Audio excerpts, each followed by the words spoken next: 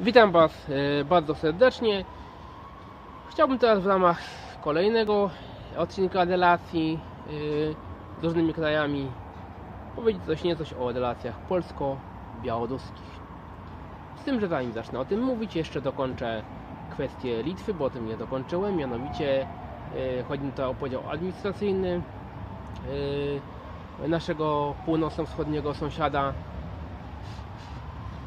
Mianowicie Litwa składa się z takich ziem jak e, Mam tutaj na myśli podział e, geograficzny jak Suwalkija, czyli Suwal, Suwalszczyzna Dajnawa Żymajtia, czyli Żmudź Augsztota mm, i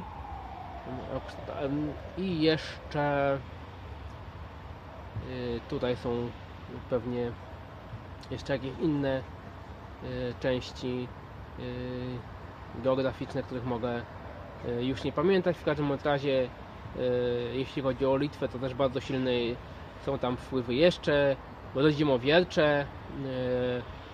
Właśnie to rodzimowierstwo na Litwie to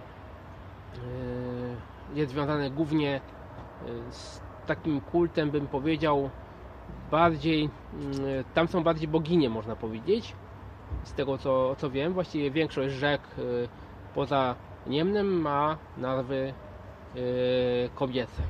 Y, kobiety mają tam bardzo silną władzę, jeżeli chodzi o boginię właśnie. No jest to oczywiście Perkunas, to jest też, też bóstwo, prawda, jedno z ważniejszych bóstw litewskich. Mm. Zresztą nie tylko. Co ciekawe właśnie tutaj jak jest zaprzysiężenie prezydenta, to najpierw jest w katedrze, a potem z flagą Litwy idą na obrzędy, prawda, rodzimowiercze, czy też jak kto woli yy, pogańskie. Ja używam to słowa rodzimowierstwo z szacunku, mimo wszystko dla yy, tych tradycji, prawda, litewskich czy słowiańskich, yy, aczkolwiek z nimi jako katolik, no, nie identyfikuję się, chociaż uważam je można powiedzieć, za kulturowo, częściowo też swoje własne. Mówię kulturowo, nie religijnie, to jest bardzo istotne. Yy, także to yy, tyle o Litwie. Yy, przejdźmy teraz do Białorusi. No, Białoruś była bardzo ważną częścią Wielkiego Księstwa Litewskiego. Pamiętajmy, że właśnie to język staroruski, czy też starobiałoruski był językiem y, kancelarii litewskiej. Y, to w tym języku pisano od czasów y, wielkiego księcia Giedymina. To jest też, no, uważam, istotne. Więc tutaj te ziemie Białorusi były bardzo ważne. To stąd właśnie z ziem białoruskich wywodzi się Kościuszko, mm, Kostiusko, prawda, po białorusku. Język białoruski jest bardzo bliski językowi polskiemu. Yy, właściwie Niemcy nie najbliższy nawet, yy, jeśli chodzi o ten. Ja nie jestem tutaj lingwistą, ale wydaje mi się, że to jest jednym z bliższych języków. Jak słuchałem po białorusku niektórych yy, tekstów, czy też pieści, to było bardzo podobno do, do naszych. Na przykład teraz ostatnio, jak był zjazd młodzieży tutaj co, y, który się odbywa prawda, co jakiś czas y, od czasów Jana Pawła II no to to ta pieśń, prawda, hymn tutaj tych, znaczy ludzi młodych, no to, to był bardzo, bardzo w języku białoruskim bardzo podobny do polskiego. Białoruski jest bardzo pięknym językiem w ogóle. I to jest po pierwsze. Po drugie, Białoruś też dba o stare zamki, prawda, z czasów Wielkiego Księstwa Litewskiego, e, na przykład o Mir, który należał e, czy to do Radziwiłłów, czy też później już do książąt światopełmickich. Ale nie tylko Mir, Nieśwież, e, Białorusini na przykład pamiętają nie tylko o książętach, ale też na przykład o prekursorze polskiej fotografii, o Janie y, Buchaku, y, czy też są na przykład pomniki Napoleona Oddy, też warto o tym pamiętać. Oczywiście mamy też pomniki Lenina, prawda, e, czy też innych bohaterów rewolucji socjalistycznej, czego nie pochwalam oczywiście. Mamy na przykład czołg w Grodnie skierowany w kierunku zachodnim. Nie pochwalam tego, ale jest to, mm, wydaje mi się, coś takiego, że Białoruś jednak e, w czasach e, komunistycznych była jednym, czy też marksistowsko-leninowski prawidłowo mówiąc, e, była jednym z krajów, który to e, jedną z części Związku Sowieckiego e, bardziej rozwinięto. Tak bym to powiedział. E, To jest istotne. E, Co jeszcze? E, Ale no, miało ogromne straty w II wojnie światowej. E, To jest też na pewno jakoś tam ważne. E, Ważne jest też to, e, że właśnie jeśli chodzi o Białoruś, to jest to kraj w tej chwili obecnie on stabilny gospodarczo bardzo. Oni mają, chcą mieć dobre relacje z nami. E, Szanują Polaków najbardziej, tak jak rozmawiałem z nimi, to najlepiej wspominają drugą Rzeczpospolitą, w przeciwieństwie do Litwinów czy też Ukraińców. E, Co jeszcze jest takiego powiedzmy istotnego? E, Białorusini chcą stabilizacji przede wszystkim. Dla nich to jest najważniejsze najistotniejsze. I tą stabilizację właściwie prezydent Aleksander Łukaszenka im zapewnia. E, Bo ją mają. E, Mają niskie, bo niskie, ale mają pensje wypłacane na czas, czy emerytury, e, czy też dopłaty bardzo duże do gazu, dopłaty do tych do komunikacji, bilety są bardzo tanie, czyli taka opieka socjalna jest bardzo, bardzo, bardzo, bardzo na takim poziomie jak na te kraje wschodnie wysokim.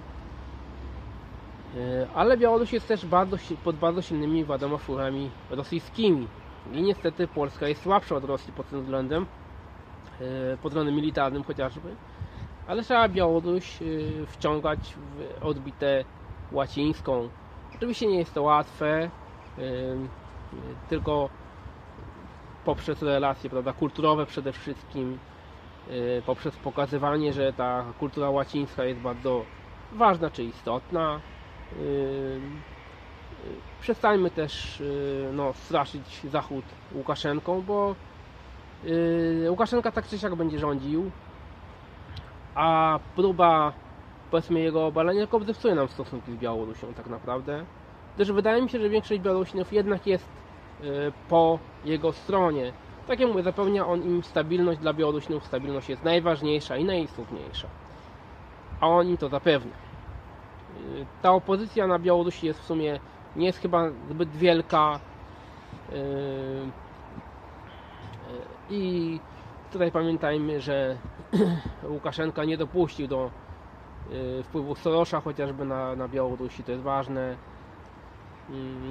Że na przykład, i to mi się bardzo podoba, większość powiedzmy gospodarki należy do Białorusi, duża część, no wiadomo, no nie, powiedzmy, no nie większą, no duża część też należy i w tej chwili do Rosjan, do Chińczyków i tak dalej, ale y, on jednak tej gospodarki białoruskiej mocno broni, bym tak powiedział w ten sposób. Na przykład traktory białoruskie sprzedawane są w Niemczech chociażby. Oni mają bardzo duże też ciężarówki, które pracują w kopalniach odkrywkowych, jedne z największych na świecie. E, To, to, to, to jest ważne. E, Żywność też mają bardzo dobrą Białorusini, e, zdrową bym tak powiedział. E, No mają też tam, jeśli chodzi o żywność, taki chleb, który się nazywa kirpicz. Ja go osobiście jadłem, ale podobno bardzo dobry. Mają też Białorusini, jeśli chodzi o żywność, coś takiego, co się nazywa taranka, czyli suszone rybki po prostu. Taranka to jest po ukraińsku. Co jeszcze mają z żywności?